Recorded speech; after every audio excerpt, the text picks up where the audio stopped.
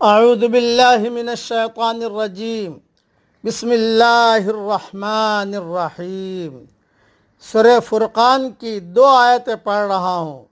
آیت نمبر 43 آیت نمبر 44 ارأیت من اتخذ الہہ ہوا کیا آپ نے اس شخص کو نہیں دیکھا جس نے اپنی خواہش کو اپنا معبود بنا رکھا ہے؟ افانت تکون علیہ وکیلا؟ پس کیا آپ اس کا ذمہ لے سکتے ہو؟ ام تحسب ان اکثرهم یسمعون او یعقلون؟ یا آپ خیال کرتے ہو کہ ان میں سے اکثر سنتے اور سمجھتے ہیں؟ انہم الا کالانعام بل ہم اضل سبیلا۔ وہ تو محض جانوروں کی طرح ہیں، بلکہ وہ ان سے بھی زیادہ بے راہ ہیں۔ حدیث حدیث شریف میں آتا ہے، ایک حدیث اس میں بہت اہم بیان کر دیتا ہوں۔ حضور اکرم صلی اللہ علیہ وسلم نے فرمایا کہ آسمان کے سائے کے نیچے اللہ کے سوا پوجے جانے والے معبودوں میں سب سے زیادہ خطرناک سب سے زیادہ سنگین، سب سے زیادہ برا۔ اللہ کے نزدیک وہ خواہش ہے جس کی پیروی کی جائے۔ جیسا خواہش نے کہا، ویسا کیا۔ سفید پتھر دکھا تو اس کو پوج لیا، کالا دکھا تو اس کو لے لیا، لال دکھا تو اس کو لے لیا۔ ایک پیر کے پاس گئے، دوسرے پیر کے پاس گئے، تیسرے پیر کے پاس گئے۔ یہ نہیں ہوتا ایسا۔ تو حضور نے فرمایا، سب سے زیادہ سنگین اللہ کے نزدیک وہ خواہش ہے جس کی پیروی کی جائے۔ یہ حدیث تبرانی میں ہے نبی امام رضی اللہ تعالیٰ عنہ۔ اس لیے اصل کامیاب وہ ہے، آدمی ہے جو اپنے خواہشات پر نہ چلے، بلکہ احکامات پر چلے۔ اللہ کا حکم پورا کرے۔ بس مسئلہ یہ ہے۔ یہ ایک حقیقت ہے کہ سب سے بڑا بت آدمی کی خواہش نفس ہے، بلکہ یہی اصل بت ہے۔ بقیہ تمام بت صرف خواہش پرستی کے دین کو جائز ثابت کرنے کے لیے وضع کیے گئے ہیں۔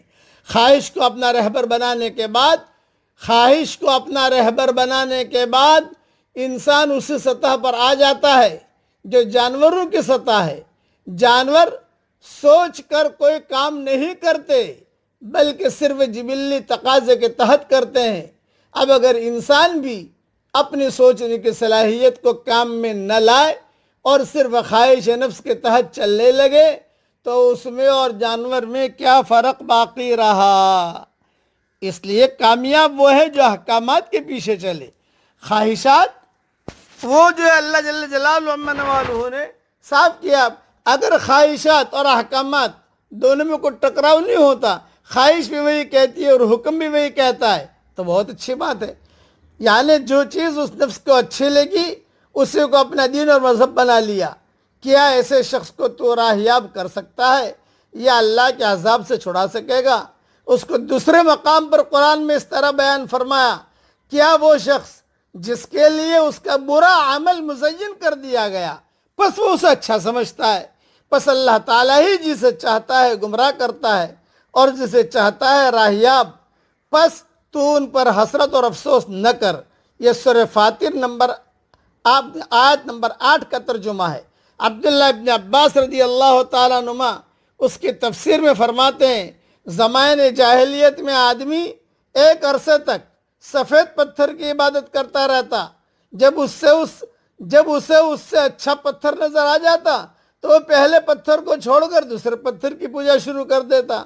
اس طریقے سے چلتے رہتے تھے۔ یہ نہیں، اللہ کا حکم ایک ہی ہے اور اسی اللہ کے حکم کو مانو۔ حضور صلی اللہ علیہ وسلم کا طریقہ ایک ہی ہے، اسی طریقے پر چلو اور اسی طریقے پر ہم سب کی کامیابی ہے۔ مطلب یہ ہے کہ ایسے اشخاص جو عقل و فہم سے اس طرح عاری اور محض خواہش نفس کو اپنا معبود بنائے ہوئے ہیں۔ اے پیغمبر، کیا تو ان کو ہدایت کے راستے پر لگا سکتا ہے؟ یعنی نہیں لگا سکتا۔ چوپائے جس مقصد کے لیے پیدا کیے گئے ہیں، اسے وہ سمجھتے ہیں۔ لیکن انسان جسے صرف ایک اللہ کی عبادت کے لیے پیدا کیا گیا تھا، وہ رسولوں کے یاد دہانی کے باوجود اللہ کے ساتھ شرک کا ارتکاب کرتا اور در در پر اپنا ماتھا ٹیکتا پھرتا ہے، اس اعتبار سے یقیناً چوپائے سے بھی زیادہ بدتر اور گمراہ ہے۔ یہ مختصر تشریح میں نے سمجھا دی۔ یعنی اپنے خواہش پر نہیں چلنا، احکامات کو پورا کرنا ہے۔ خلاصہ کلام یہ، اویس کرنی کی خواہش یہ تھی کہ حضور صلی اللہ علیہ وسلم کو آ کر دیکھیں۔ حضور صلی اللہ علیہ وسلم کا حکم یہ تھا، مت آؤ، ماں کی خدمت کرو۔ تو انہوں نے خواہش کو قربان کیا اور اور ماں کی ماں کی خدمت کی۔ اس پر ان کو یہ اجر ملا اویس کرنی کو۔ کیا اجر ملا؟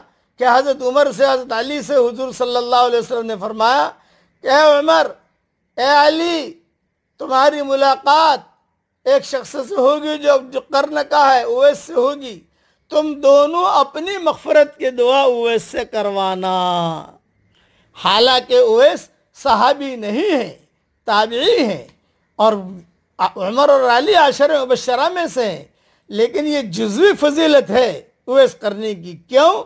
کہ خواہش کو قربان کیا، حکم کو پورا کیا۔ اس طریقے پر ہم بھی خواہشات کو قربان کریں اور حکامات کو پورا کریں۔ اللہ تعالی ہمیں عمل کرنے کی توفیق عطا فرمائے۔ آمین۔ وآخر دعوانا ان الحمدللہ رب العالمین۔